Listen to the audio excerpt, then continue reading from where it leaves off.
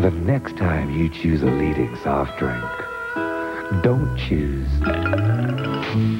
a sweetie pie. Ah, choose Canada Dry Ginger Ale.